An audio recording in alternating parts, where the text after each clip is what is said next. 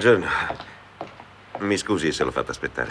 Vorrei un'informazione. Avrebbe una camera libera. Una camera? Certamente. Sulla strada o all'interno? Sulla strada c'è un po' di chiasso, ma si vede la piazza. Mi dica cosa preferisce. La vista è molto piacevole. Il rumore la disturba? No, non mi disturba affatto. Preferisco una, una stanza che dia sulla piazza. È la nostra stanza migliore. È libera soltanto perché siamo fuori stagione. L'estate è sempre occupata. Abbiamo anche clienti che vengono da molto lontano. Alcuni dall'America, dal Giappone. Ah, ecco lui, sì, il nostro fattorino. Buongiorno. Posso fare qualcos'altro per lei? No, la ringrazio. Grazie a lei. È la prima volta che viene in questa città? Sì, è la prima volta. Ed è qui per lavoro? No, non è per questa ragione che sono venuto. Allora le auguro un piacevole soggiorno. Sono certo che si troverà bene. Vorrei l'elenco telefonico, per favore.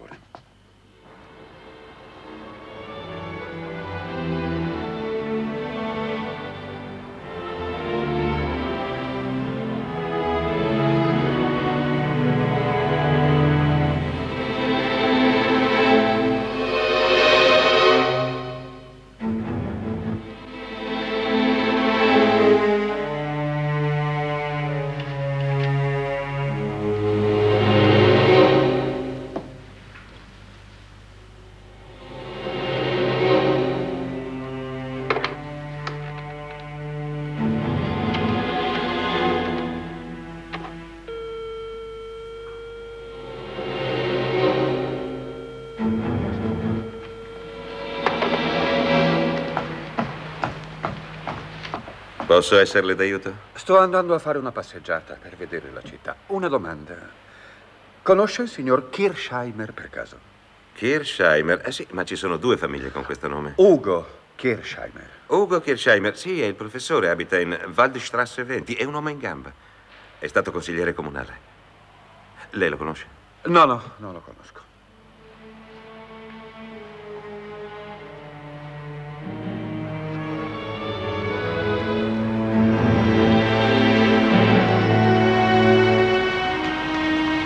Scusate, sapete dirmi dov'è la Waldstrasse, per favore?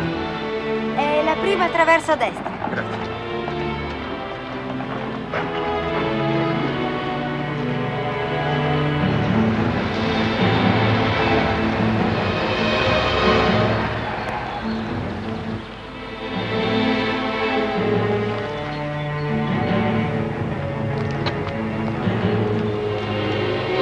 Cerca di non fare tardi. D'accordo. Ce le hai le chiavi? Sì, sì. Ciao.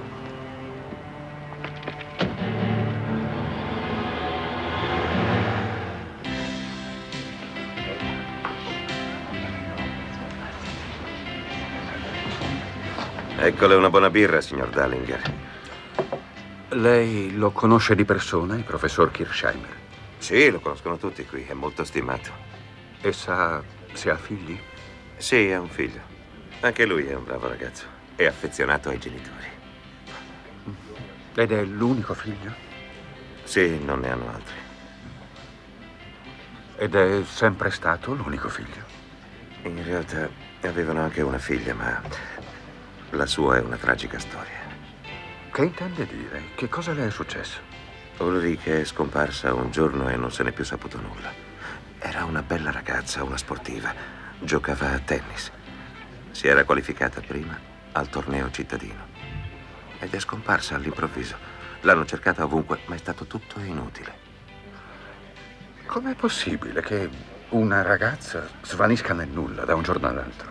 Sembra assurdo, ma non hanno trovato neanche una traccia.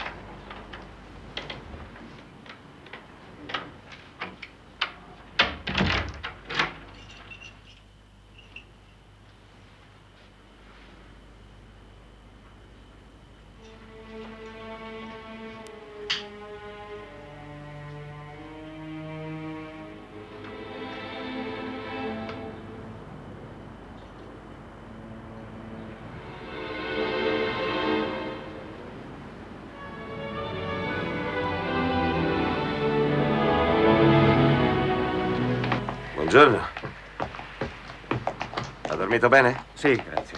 Ha fatto colazione? Vorrei un favore da lei. Può telefonare al dottor Kirsheimer per dirgli che vorrei avere un colloquio con lui di persona? Lei vuol dire Kinsheimer, il professore? Eh, Certo. Gli faccia il mio nome, il signor Dallinger di Monaco, e gli dica che sono un giornalista.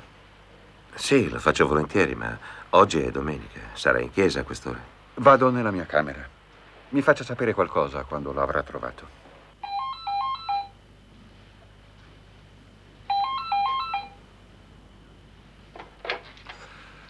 Dallinger. Sono Kirsheimer. Mi hanno detto che lei vuole parlare con me. Ho capito bene il suo nome, signor Dallinger. Lei è un giornalista? Sì, è vero, ma vede, io non sono un cronista di un giornale, io scrivo libri. Mi occupo di fatti da un punto di vista sociologico. Non mi interesso di cronaca, di informazione. Ho capito perfettamente. Mi scusi se le faccio una domanda diretta. Di quale argomento vuole parlare con me? Di sua figlia Ulrike. Che significa? Senta, mia figlia è scomparsa da due anni senza lasciare tracce. Lei forse ne sa qualcosa? No, no, no. Cerco di spiegarle. La storia di sua figlia è sconvolgente per me, tanto che desidero parlarle per cercare qualche spiegazione alla sua scomparsa.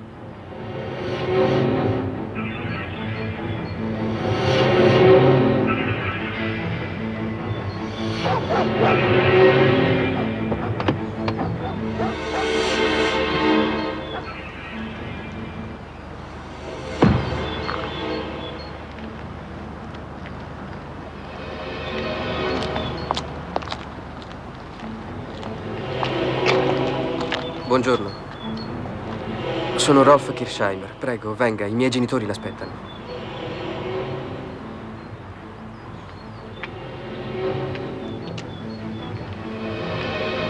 Buongiorno. Mia moglie mio figlio. Lei ci ha messi in grande agitazione. Allora, mia figlia, che cosa ne sa? Le spiego volentieri qual è la ragione che mi ha spinto a venire. È perché, come le ho già detto prima al telefono, la storia di sua figlia mi ha davvero toccato. Ne ho sentito parlare e vorrei riuscire a saperne di più per poter... Ecco, io vorrei fare un'approfondita inchiesta sul problema, sulla sorte delle persone scomparse. Per questo, per soddisfare la curiosità dei lettori, ne abbiamo abbastanza.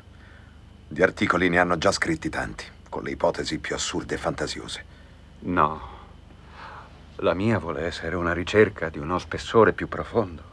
C'è qualcosa in questa vicenda che mi tormenta dentro e che ha fatto sì che decidessi di venire in questa città a conoscervi. Lei da dove viene? Io abito a Monaco. E da chi ha avuto tutte queste notizie sulla scomparsa di mia sorella? Dalla polizia. Ho letto tutti i loro rapporti e anche quello che ne scrissero i giornali. Ho cercato di documentarmi. Il passo successivo era venirvi a trovare. Per sapere che cosa? Per sapere chi era. Più profondamente chi era. E ora sono qui perché nessun altro la conosceva meglio di voi. E se si trattasse della solita curiosità di un giornalista? Davvero non riuscite a capire? Potrei anche essere una di quelle persone che non riescono ad assistere indifferenti a tragedie come quelle che già da due anni state vivendo voi. A me interessano gli esseri umani. Le possiamo offrire qualcosa? Vuole sedersi? Posso farle un caffè se vuole. No, no. Non mi voglio trattenere a lungo. Invece vorrei... Avete delle fotografie di vostra figlia? Sì, certo. Vuole che gliele prenda? Magari perché vorrei vedere qualcosa di lei. Capire com'era e quanto poteva amare la vita. Vado a prenderle. Ritorno fra un istante.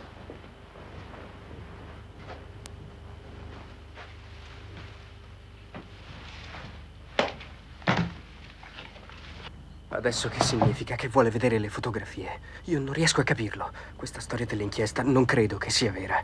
C'è sotto qualcos'altro. A me ha fatto un'ottima impressione. Fa il suo lavoro. E credo con grande serietà.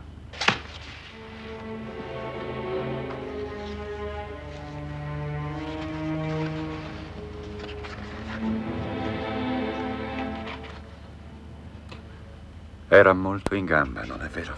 Sì, era molto sveglia. Aveva tanti interessi. Sì, riesco a immaginarlo.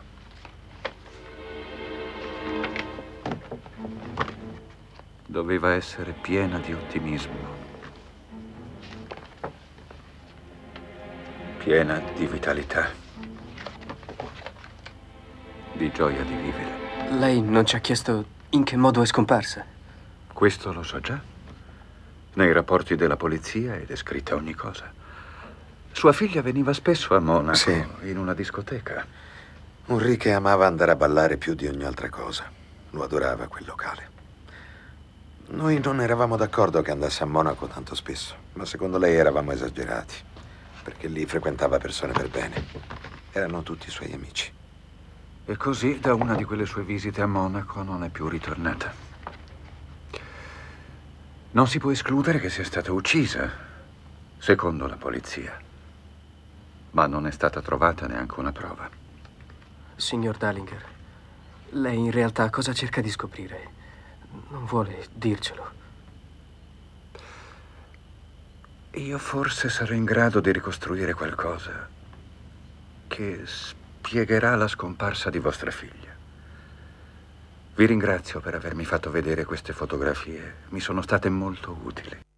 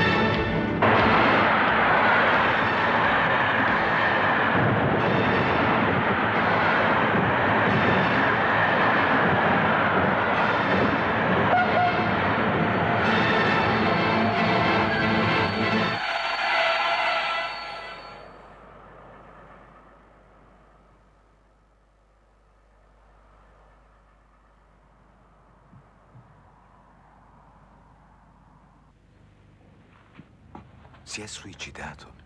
Lo ha scritto in questa lettera.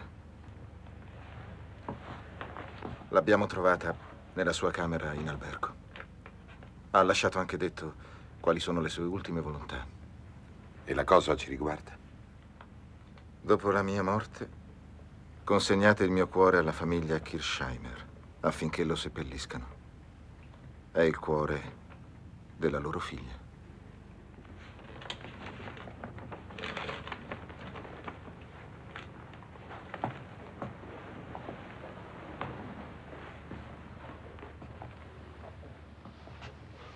Che cosa significa? Che senso ha? Io non riesco a capire. L'uomo ha sul petto una cicatrice all'altezza del cuore. Secondo la scientifica si tratta sicuramente di trapianto cardiaco. Il cuore di mia figlia. Io non posso crederci. È una cosa assurda. Mi faccia vedere. Cos'altro dice nella lettera? C'è scritto soltanto questo, nient'altro.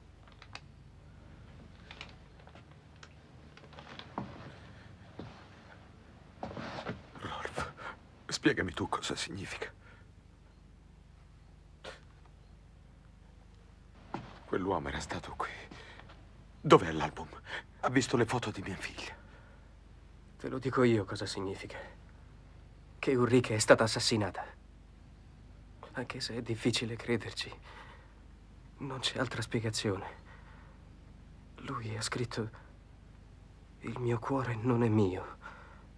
È il cuore di sua figlia. Ma come... come è arrivato a saperlo? È una cosa incredibile. Già.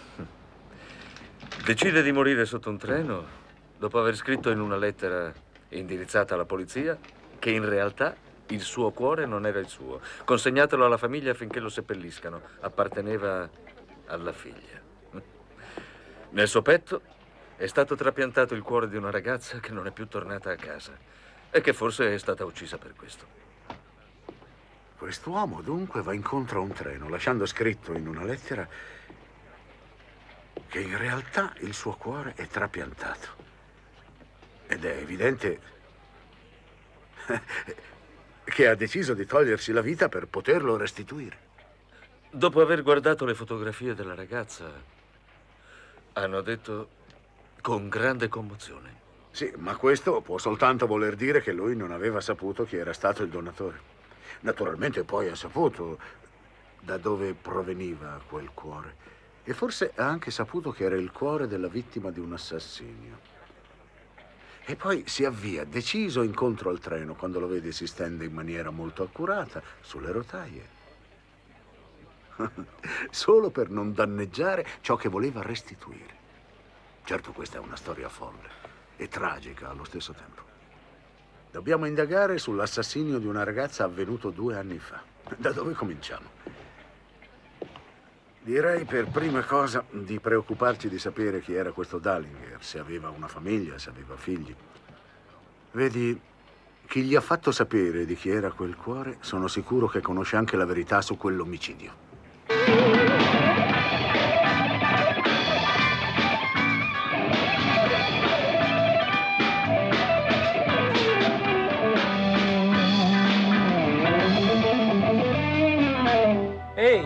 Un po' che non ti fai vedere. Dove eri finito? Mi spiace. Ho avuto un sacco di cose da fare. Ci eravamo preoccupati. Fuori c'è gente così cattiva. Più di quanto credi. Ho seppellito il cuore di mia sorella. L'uomo che l'aveva nel petto si è suicidato. Perché voleva restituircelo. Era stata uccisa per un trapianto.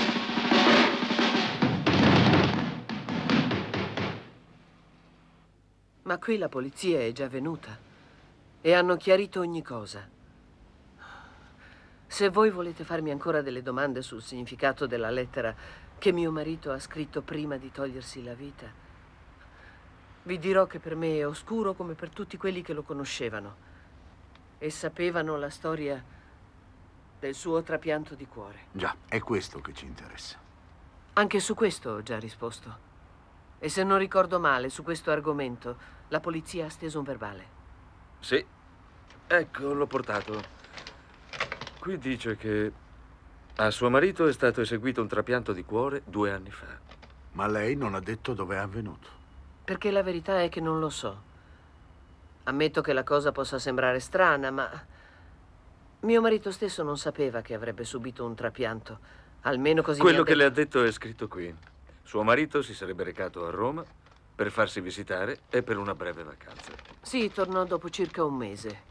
Mi informò di essersi sottoposto a un trapianto cardiaco e... e che stava bene. Ma non aggiunse nient'altro.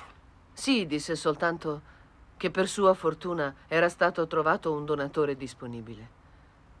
Se mio marito non me ne parlò, fu certamente per un buon motivo. E non ha più voluto affrontare l'argomento. Se ammettiamo che suo marito non sapesse allora chi era il donatore, è chiaro che qualcuno deve averglielo eh, fatto sapere più tardi. Ah, io non so niente di questo. Però lei lo conosceva bene, suo marito. Quindi sono sicuro che lei possa, possa dirci con certezza se gli era successo qualcosa, se le sembra che in qualche modo fosse cambiato. Sì, lui era diverso. Da una settimana era cambiato. Era così strano. In che senso strano? Era silenzioso, non parlava. Senza una spiegazione, un motivo. Dare spiegazioni non era nel suo stile. Mio marito era. era freddo, chiuso. Non si curava dei sentimenti altrui. E i suoi li teneva nascosti. Forse non ne aveva. Ma credo che sentimenti ne avesse. Lo dimostra il fatto che non è riuscito a sopportare l'idea di vivere avendo nel petto il cuore di una ragazza che forse è stata assassinata per questo. Come assassinata? Ho detto forse, ma siamo abbastanza sicuri che sia andata così. Un momento, un momento. Dunque lei ritiene che mio marito non sapesse chi era il donatore del cuore e che lo abbia scoperto solo una settimana fa, che era una ragazza. E che per lui questa ragazza era stata assassinata. Già, è per questa ragione che siamo venuti da lei. Stiamo facendo delle indagini su questo delitto. E io cosa dovrei dire al riguardo? Beh, lei ha già detto qualcosa. Ha detto che suo marito da otto giorni era cambiato e quello che ci interessa è proprio questo. È da qui che credo sia giusto iniziare. Cosa è successo otto giorni fa? Ecco. Era tutto normale. Andava al lavoro come aveva sempre fatto. E all'improvviso non c'è andato più. Ha detto che per qualche giorno avrebbe lavorato in casa. Ma in realtà non ha lavorato. E da cosa si è accorta che non stava lavorando? Quando rientravo lo vedevo distratto, apatico. Se gli chiedevo qualcosa neanche rispondeva. Ma questo non mi dava fastidio. Perché da anni ormai avevo cessato di amarlo.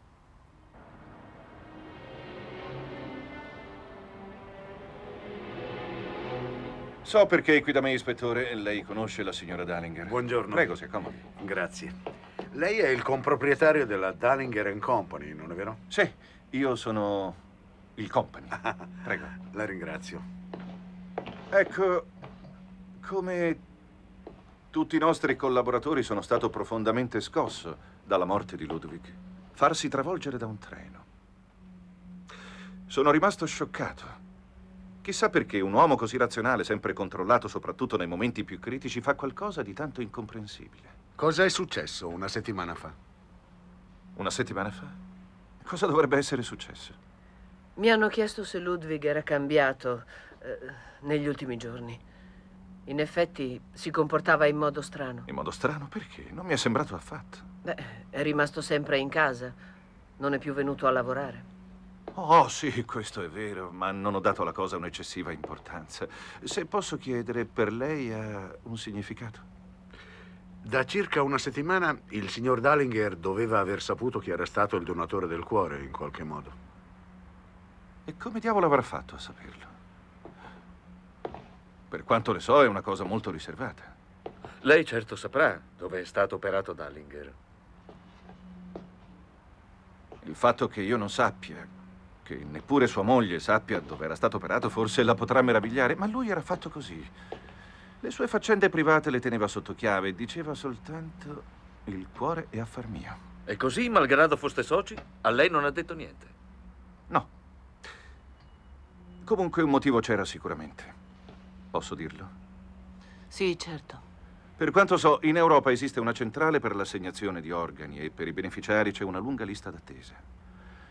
Di sicuro, però, si possono trovare altre strade se si dispone di denaro. Forse era per questo che Ludwig non ha mai voluto parlarne. Mi dica, lei sa quanto denaro ha versato il signor Dallinger? No. Neanche lei, signora? No. Bene, a questo punto togliamo il disturbo. No, ma cosa dice? Nessun disturbo. Spero solo che la nostra ostilità non vi abbia infastiditi. No, non ci ha infastiditi.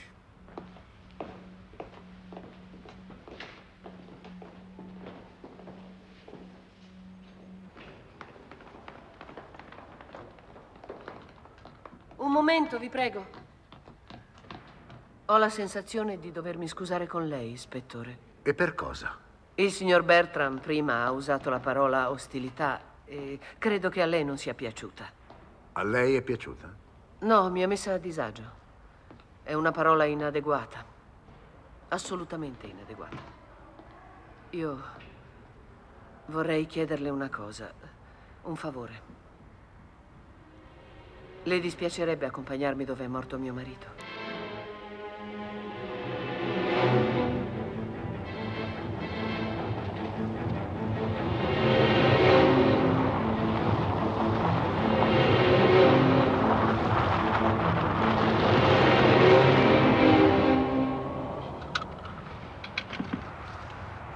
La stupisce che sia voluta venire? No, no, non ne sono stupito affatto. Eh, Io le ho detto una cosa che in effetti non è del tutto vera. Le ho detto che non amavo mio marito. Invece avrei dovuto dire più esattamente che avevo rinunciato ad amarlo. Era freddo, distaccato, astioso. Era impossibile amarlo. Ero raggelata dalla sua presenza. E per quale ragione vuole vedere dove è morto? Non so il perché. È arrivato, ha lasciato l'auto qui ed è andato lassù, su quel terrapieno. È come se ci fosse qualcosa dentro di me che mi spinge ad andare a vedere. Devo andare. Sì, d'accordo.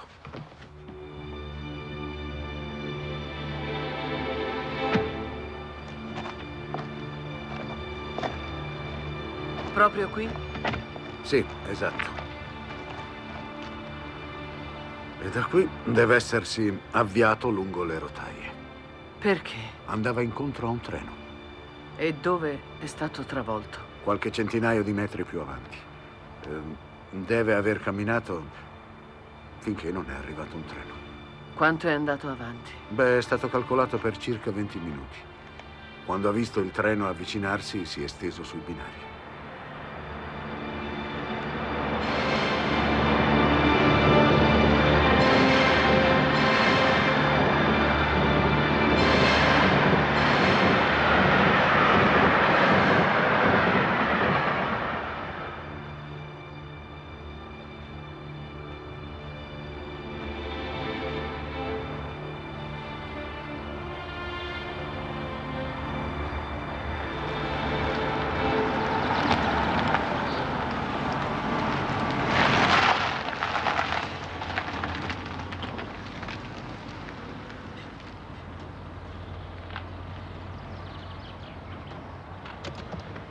Chi è quel ragazzo?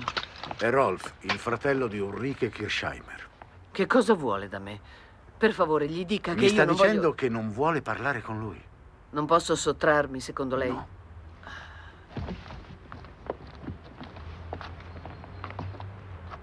L'ispettore mi ha appena detto chi è lei. Sono Eva Dallinger. Venga pure. Le ho telefonato all'ufficio, mi hanno detto che forse l'avrei trovata qui. Infatti.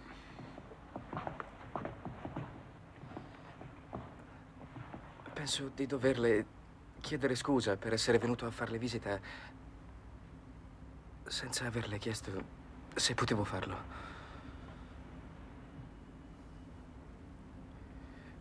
Allora, ha saputo qualcosa? Insomma, immagino che di sicuro abbiano accertato dove è stato eseguito il trapianto. No, ancora non si sa niente. Io... Io vorrei soltanto dirle che non ho assolutamente niente contro suo marito. Al giorno d'oggi i trapianti sono interventi normali, ma non riesco a capire una cosa. Suo marito si è tenuto nel petto il cuore nuovo per due anni.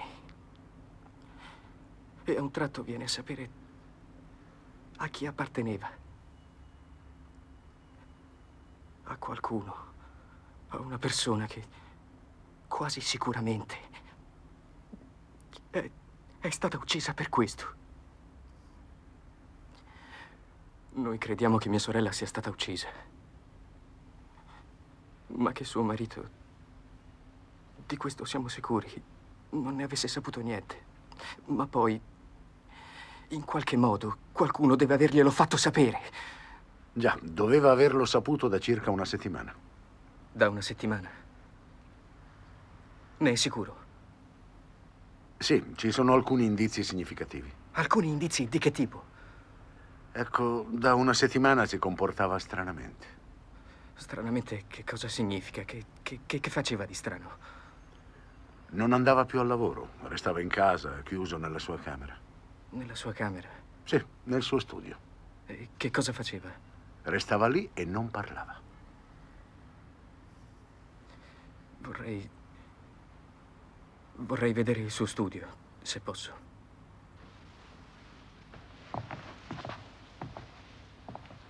Restava qui solo, E non diceva neanche una parola. perché non poteva fingere di non sapere quello che ormai sapeva. Voleva sapere di più sulla ragazza alla quale apparteneva il cuore. Venuto a casa nostra. Ha guardato le foto di mia sorella. Se n'è andato. E si è tolto la vita. Ammiro suo marito.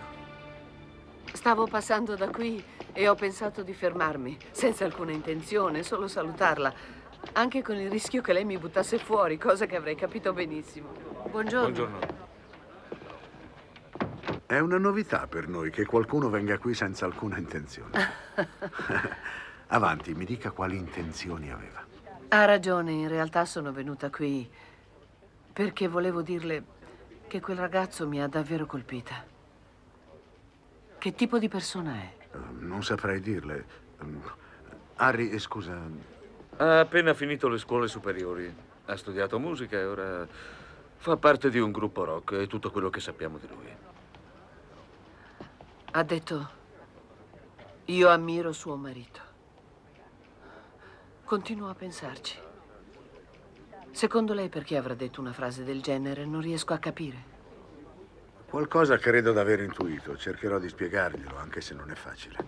Capita a volte nella vita di trovarsi in una situazione in cui è necessario dare una risposta che può compromettere o meno la stima che si ha di se stessi.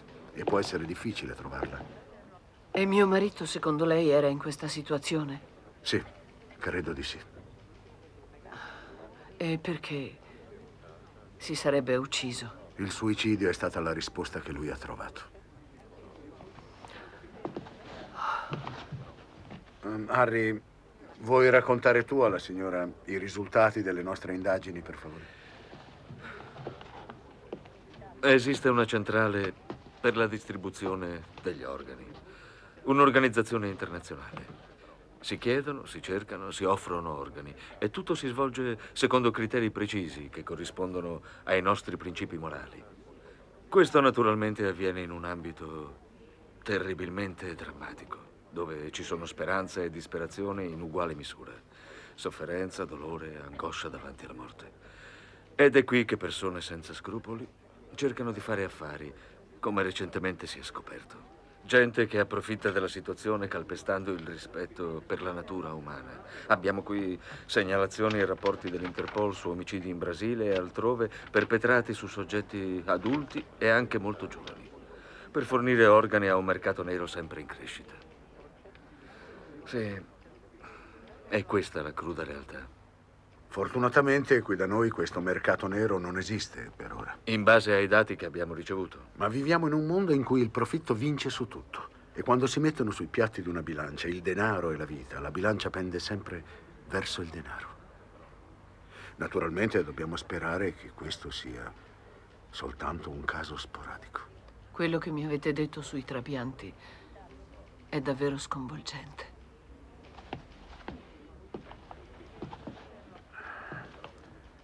Per favore, cerchi di ricordare che cosa è successo otto giorni fa.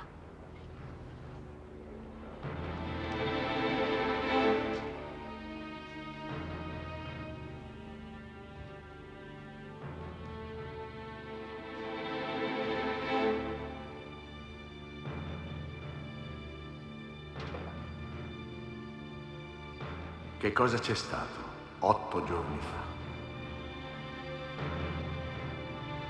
Non vuoi dirmi che cosa ti è successo? Hai bisogno di qualcosa? Vuoi parlare? Se sei malato, perché non mi dici cos'hai? Perché non rispondi al telefono?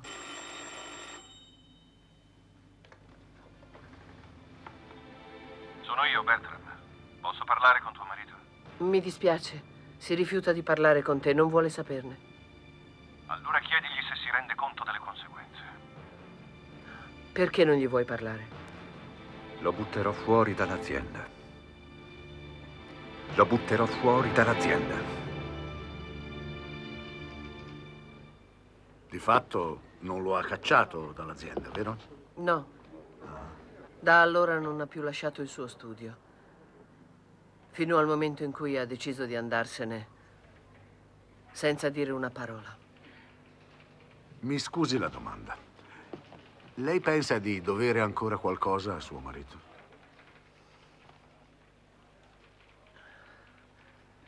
Non capisco cosa intende dire. Senta, le faccio una proposta. Vorrei che parlasse con Bertram. Eh, come, come sono i suoi rapporti con lui? Voglio dire, sono abbastanza amichevoli. Sì, c'è un rapporto amichevole. Ci conosciamo da tanti anni. Bene. Lo vada a trovare in ufficio. Gli faccia capire, in via del tutto confidenziale, che la polizia si sta interessando a lui e poi lo ascolti attentamente. Sarebbe interessante sapere come reagisce e che cosa dice.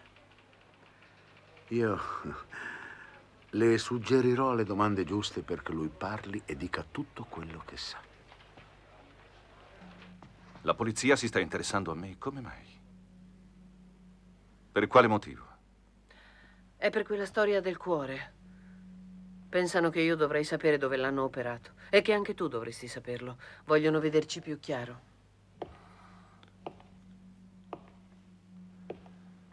Eva, ora ti do un buon consiglio. Tu non sai niente, è questo che devi dire alla polizia. Quante erano le sue probabilità di sopravvivenza? Minime, lo sappiamo tutti e due. Poteva andarsene in qualsiasi momento. Ho pagato 100.000 marchi perché lo operassero in tempo per salvargli la vita. E chi hai dovuto pagare? Che importanza ha? Tuo marito rischiava la vita e io l'ho aiutato. Quindi per favore non chiedermi niente. Inoltre non ti dovrebbe essere difficile ammettere che non amavi più Ludovic, che il vostro matrimonio era fallito. Perciò ti prego di non preoccupartene ora. Pensiamo invece a come comportarci. La mia opinione è che dobbiamo sostenere che Ludwig dopo il trapianto non era più l'uomo che conoscevamo. Era completamente cambiato. Era confuso, era... era depresso. E questo prima che sapesse della ragazza. A volte se ne stava seduto per ore completamente apatico, a volte invece andava in giro urlando e mi voleva cacciare. Voleva cacciarmi dall'azienda. A te l'ha detto perché... Ti ha detto per quale motivo? Ti prego, per me è importante. Ti ha detto perché voleva farlo? No. Dimentica tutta questa storia. Non farne parola con nessuno, capito? Con nessuno.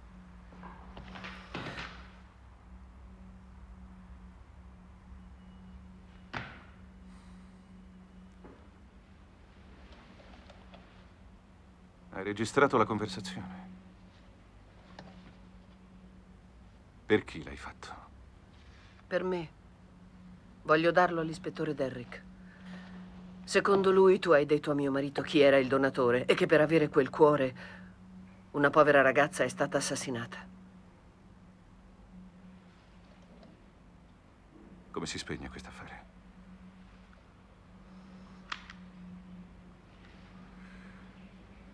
Avrei preferito che questa storia non venisse a galla. Ma ora non posso tirarmi indietro. Naturalmente abbiamo preso informazioni su di lei. Questo è il suo fascicolo. Che io conduca una vita un po' disordinata è vero. E penso che la cosa abbia avuto un peso in questa vicenda. In un nightclub conobbi una persona, un italiano. Era simpatico. Un tipo sveglio. Chiacchierammo e casualmente il discorso cadde su Ludwig Dallinger. Gli parlai di Ludwig perché in quel momento era disperato. Il suo cuore non avrebbe retto a lungo. L'italiano disse che aveva certe conoscenze, che poteva aiutarci. Ma la cosa, è chiaro, aveva un costo elevato. 100.000 marchi. Il giorno dopo dissi a Ludwig, il denaro lo abbiamo. Lo possiamo prendere dall'azienda senza difficoltà. Tu andrai a Roma e là verrai ricoverato in una clinica privata ben attrezzata per questo tipo di interventi. Il solo problema è che la cosa non è legale. Una delle condizioni è che di questo non deve sapere niente nessuno. Lui era riluttante. Gli dissi, Ludwig, è solo un modo per aggirare la burocrazia. Dopo due giorni si decise. Mi consegnò tutti i documenti che si era procurato dal suo dottore, gruppo sanguigno, albumina, l'elettrocardiogramma e tutte le altre analisi che l'italiano aveva richiesto. Dovevano servire a trovare il donatore giusto. Poi tornai in quel locale notturno a cercare l'italiano.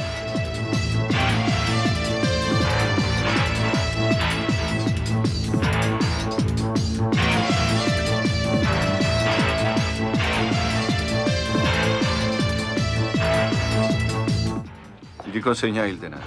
Lui lo contò attentamente e disse che tutto era in ordine. Mi avrebbe avvisato lui quando il mio amico poteva partire. Abbiamo aspettato finché una sera tornai a cercarlo. Non vedevo l'ora che mi dicesse è fatta, abbiamo risolto.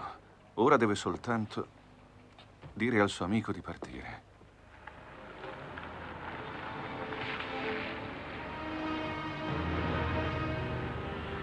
Lo vidi nel parcheggio.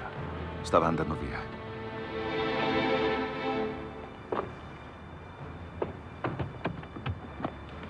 C'erano altre persone con lui. Sembrava che avessero fretta. Cercai di fermarli, ma non si accorsero di me. Almeno così mi era sembrato.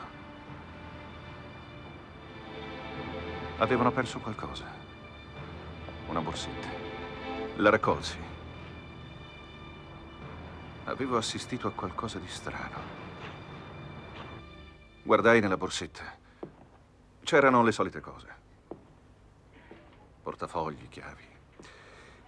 E i suoi documenti. Il nome della ragazza era Ulrike Kirchheimer. Comunque non capii cosa era successo finché non lessi su tutti i giornali che una ragazza era scomparsa e che l'ultima volta era stata vista in un locale notturno. Si chiamava Ulrike Kirchheimer. Conservai la borsetta. E poi, qualche giorno dopo, mi telefonò l'italiano. L'avevano trovato. Abbiamo trovato qualcuno i cui dati clinici corrispondono a quelli del suo amico Ludwig. Disse proprio abbiamo trovato qualcuno. Infatti gli chiesi, che significa abbiamo trovato qualcuno? Lui mi rispose, non faccia domande, il cuore c'è, si deve accontentare di questo. Il cuore c'è. Doveva partire per Roma. All'aeroporto doveva presentarsi al banco informazioni, dire il suo nome e sarebbero venuti a prenderlo. Di quello che avevo visto al parcheggio, decisi che era meglio non dire niente. Fino a otto giorni fa. Sì. Già. Tra noi due c'erano stati alcuni problemi di natura finanziaria. Io avevo fatto uno sbaglio. Un investimento è andato a vuoto, allora lui voleva cacciarmi via. Vuoi buttarmi fuori? Gli dissi. E tu avresti il coraggio di farmi una cosa simile. Io persi il controllo e cominciai a urlare. Tu non sai cosa ho dovuto affrontare per te. Allora gli dissi quello che sapevo.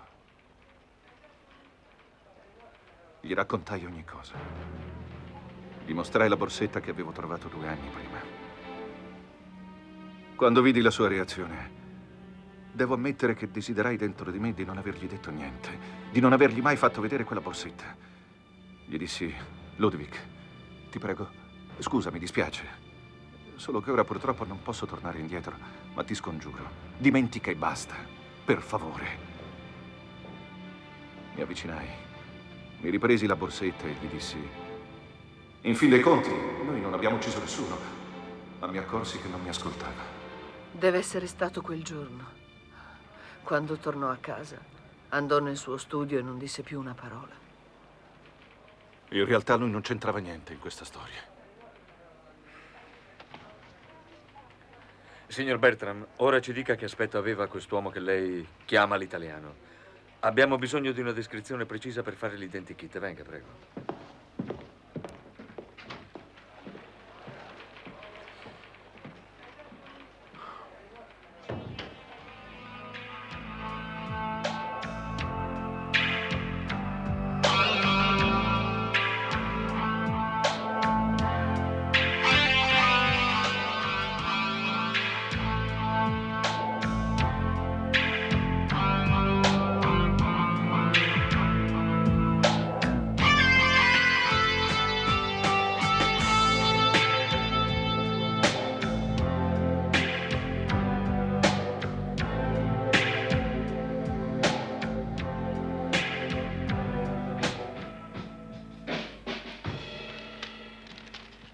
Mi scusi, signor Kirsheimer. Questo è presumibilmente, e dico presumibilmente, l'assassino di sua sorella. Le dico in tutta franchezza che non sappiamo niente su di lui e che non abbiamo la minima idea di dove trovarlo, ma da oggi verrà ricercato ovunque. Posso tenerlo? Sì, certo, lo tenga pure. Lo distribuiremo in tutti i posti di polizia, in tutti i valichi di frontiera. Mi dispiace. Mi dispiace davvero, ma qualcosa mi dice che non riusciremo a catturarlo. Chi è stato a descriverle quest'uomo? Qualcuno che lo conosce. Non può dirmi altro. Perché me lo chiede? Io dovrei parlare con il fratello. A quale scopo? Io gli ho già detto tutto, cosa vuole da me? Credo che voglia sapere qualcosa di più su quell'italiano. Derek, preferirei evitarlo. Ora lo faccio entrare.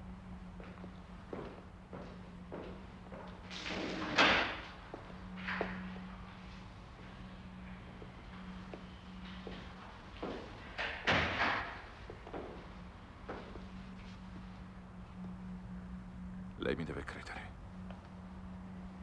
Io vorrei che tutto questo non fosse accaduto.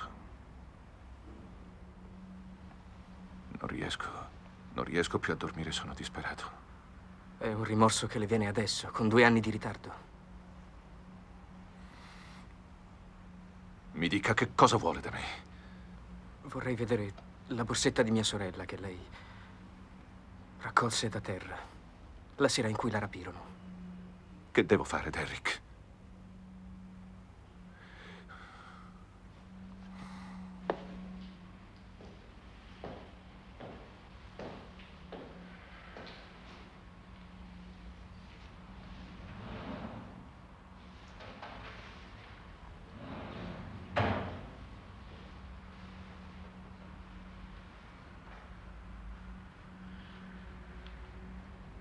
Ci sono anche i suoi documenti. Sono dentro. Con tutto il resto. L'aveva mostrata al signor Dallinger, vero? Sì, questo l'ho già detto, gliel'ho mostrata, certo. Anche i documenti. Anche i documenti. Col nome e l'indirizzo. Sì, certo, col nome e l'indirizzo. E qual è stata la sua reazione? Qual è stata la sua? Era sconvolto, stordito, ferito. Adesso, per favore, la prego di accompagnarmi nel luogo dove quella sera ha visto quell'uomo rapire mia sorella. Derrick, la prego. Lei ora non può sottrarsi a questa richiesta. Don't ever stop.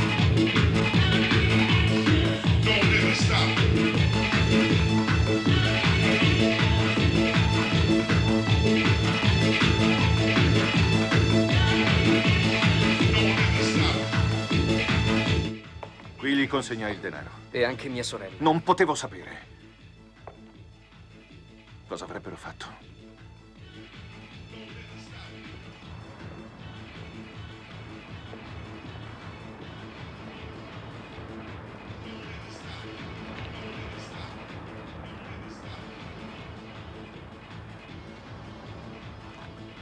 È successo qui.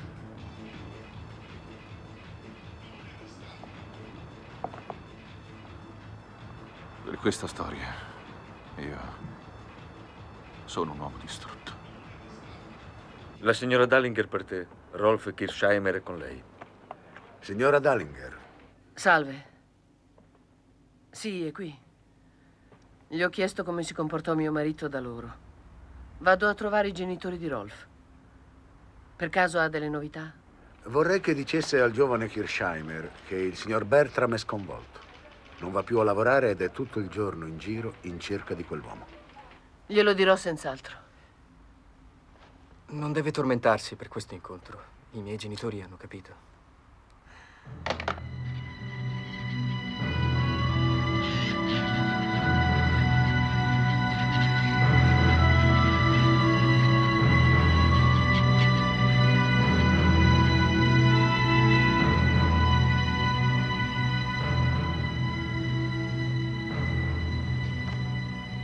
La prego, mi dica qualcosa di mio marito.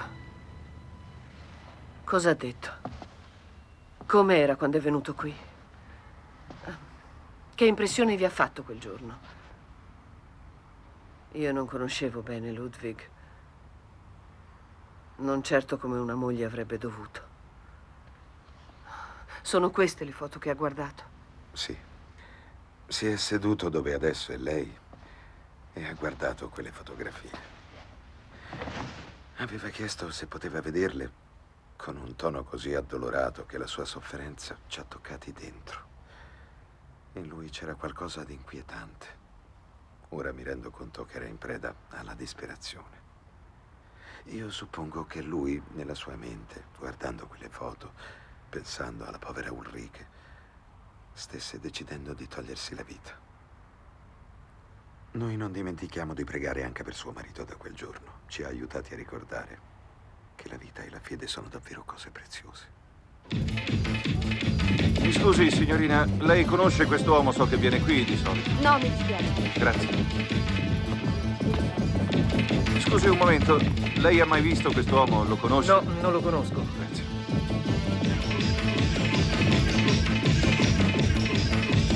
Scusate se vi disturbo, volevo chiedervi se questo volto vi dice qualcosa. No, Lei lo conosce? Non so chi sia. Vieni. Scusi, quest'uomo era un cliente qui, lei se lo ricorda? no,